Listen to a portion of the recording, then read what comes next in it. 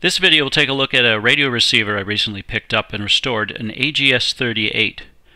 I acquired this radio as part of an estate auction of vintage radios and electronics. I wasn't familiar with the brand AGS and very little information could be found on the internet.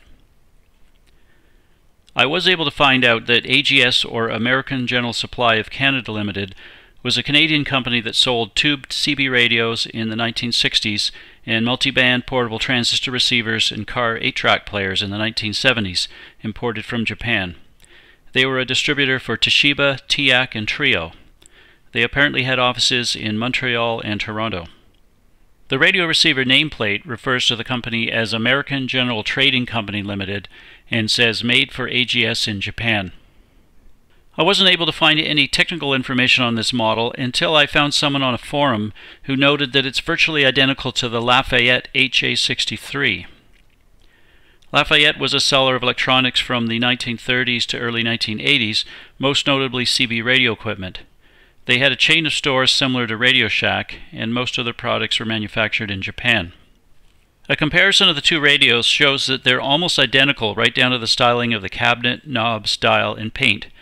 I was able to identify a few differences between the AGS and Lafayette. The Lafayette HA63 has the headphone jack in the center of the front panel rather than at the left.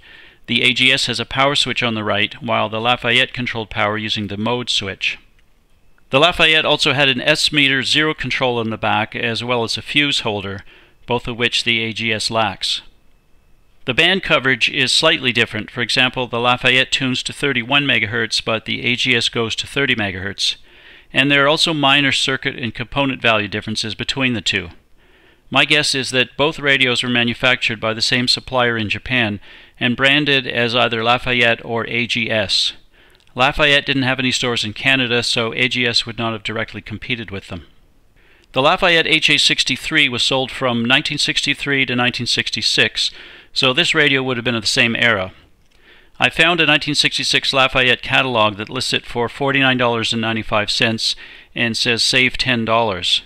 They also sold the matching HE48A speaker for $7.95. The radio is a four-band communications receiver. The four bands cover band A from 0.55 to 1.6 MHz, the AM broadcast band, band B 1.6 to 4.8 MHz shortwave, band C 4.8 to 14.5 MHz shortwave, and band D 10.5 to 30 MHz shortwave. It can receive AM or with the BFO enabled, CW, Morse code, or single sideband signals. There's a 50 to 75 ohm antenna input which can be balanced or unbalanced. Audio output is 1.5 watts into an 8 ohm speaker. There's no internal speaker. It features slide rule tuning with a separate electrical band spread control, a selectable automatic noise limiter, fixed BFO, and a small S meter. It uses seven vacuum tubes and a solid state diode. It runs on 110 to 117 volts AC, 50 to 60 cycles, and takes 50 watts. It's housed in a steel cabinet and weighs about 16 pounds. The Lafayette HA63 lists the sensitivity as 1 microvolt for a 10 dB signal to noise ratio and selectivity of 10 kHz, so I imagine this radio would have similar specs. The top of the rear panel is open, but no hazardous voltages are exposed. At left are terminals for antenna and ground, or for a balanced antenna like a dipole.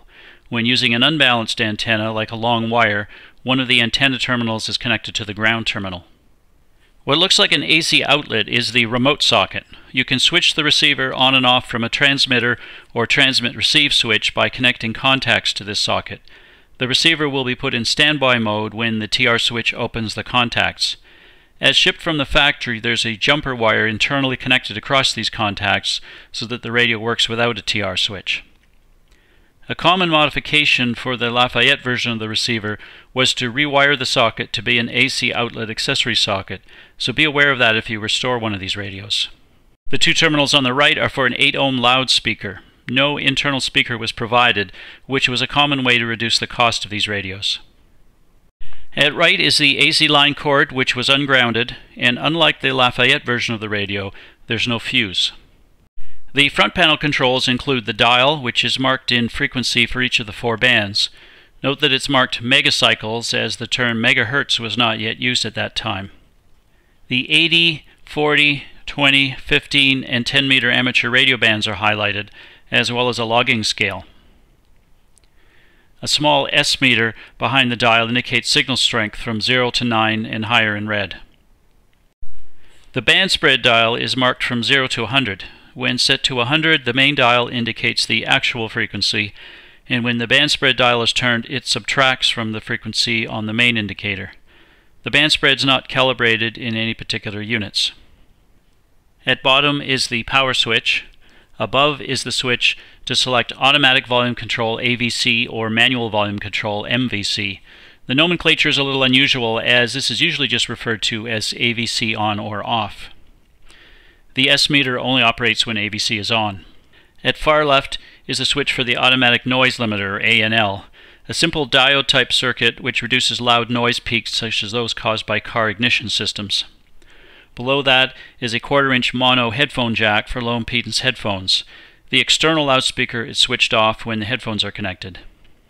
The function switch has three positions rec for normal receiving, send puts the receiver in standby mode, such as when using a transmitter, BFO turns on the beat frequency oscillator in order to receive CW, Morse code, or single sideband signals. Note that the BFO frequency is fixed, so you need to adjust the band spread tuning control to adjust the pitch of the signal.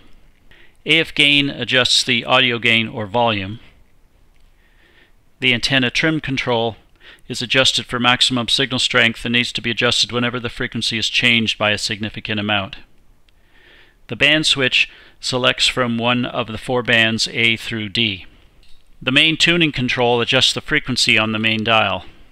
The band spread tuning control is used for fine tuning of the frequency and is generally needed on the short wave bands. The manual suggests it can be used in one of two ways. If you set the main tuning dial to the extreme right hand side of an amateur radio band, with the band spread dial set to 100, you can tune over the band selected using the band spread tuning control. Alternatively, you can center the band spread at 50 and use it as a fine tuning control to move up or down. The circuit's a pretty standard superhet design with an RF amplifier using seven tubes.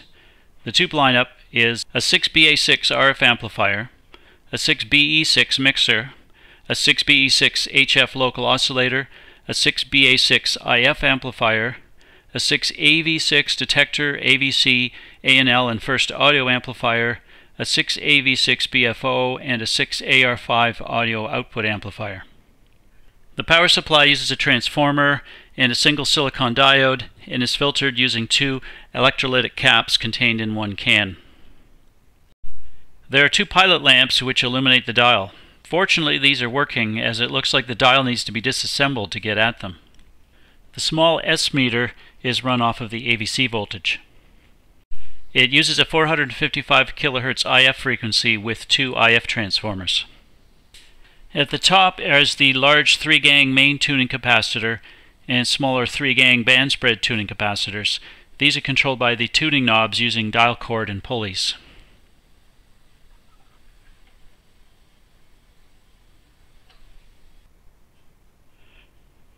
Underneath the chassis, the circuit is all point-to-point -point using tube sockets and terminal strips.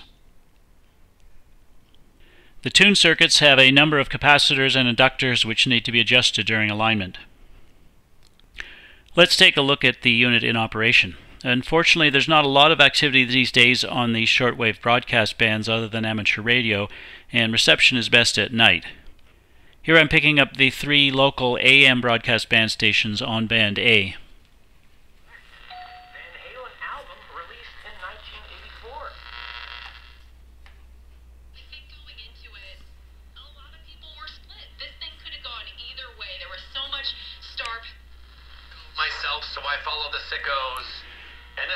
like, no, we can't take. On band B, I can pick up the time station CHU at 3.33 megahertz.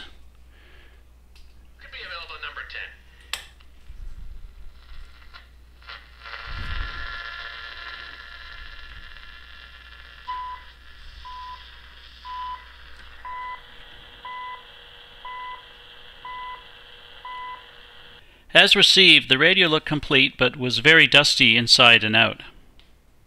It came with no manual and no speaker, but it did come with a hunk of wire that must have been used as an antenna. I gave it a light cleaning and then a visual inspection. There were no obvious missing or bad parts, and it looked for the most part unmodified. There was some rust on the front panel and more on the chassis, but overall not too bad for a radio that's over 55 years old. It appears that the power switch may have been replaced as it was soldered, not very professionally, to the power wires and covered in electrical tape which had come off. I resoldered the wires and covered the joints with heat shrink tubing. Some of the knob set screws had these screw slots crumbling, so I couldn't easily get them off for cleaning. One resistor looked slightly charred, but was still within the current value, so I didn't yet replace it. I connected a speaker and powered it up slowly with a Variac. I was not surprised to hear a lot of hum, indicating that the power supply filter caps were bad, but I did hear some local AM stations, which was a good sign that it was mostly working. I replaced the two large filter caps in the power supply by disconnecting the wires to the original CAN capacitor, which I left in place, and wiring the new smaller caps to existing terminal strips. Just to be sure, I also replaced the only other electrolytic cap in the audio output amplifier. I normally also replace any wax paper capacitors in older radios, but this unit doesn't have any. Powering it up again, the hum was gone and it was working on all bands. I did some cleaning of switch contacts and lubricating of controls. The next step was to perform an alignment. I have been able to find a copy of the operating manual for the Lafayette HA63, which included a schematic and alignment information. While there are some circuit differences, they're minor, and the alignment procedure was valid for this radio. Alignment requires an RF signal generator and AC voltmeter.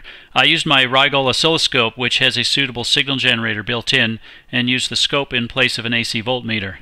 I also used an external step attenuator to reduce the signal generator output level. The alignment procedure is long but straightforward. You first peak the two IF transformers with the oscillator tube removed, using a signal at 455 kHz. You then adjust the BFO frequency to be centered at 455 kHz by listening for a zero beat. RF alignment requires 18 steps to calibrate the lower and upper ends of each of the four bands, plus peak the RF coils and caps. You have to iterate a few times to get the lower and upper band positions to be correct.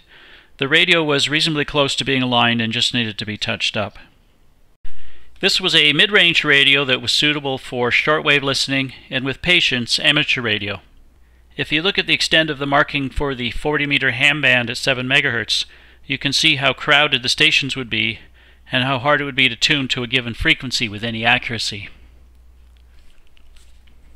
In the 1950s and 60s, many young hams saved up enough money to buy a radio like this. The $49.95 cost in 1966 is equivalent to about $400 today. For Morse code reception, selectivity could be improved with the use of an external Q multiplier, such as one of the two Heathkit units I've covered in other videos. The Osterman book Shortwave Receivers Past and Present lists the Lafayette HA63 as scarce, so this AGS branded version of the radio must be quite rare indeed, but there are references to a few units on the internet. In summary, this is an interesting and rare radio. I would be interested in hearing from anyone else who owns one of these, or any radio made by AGS.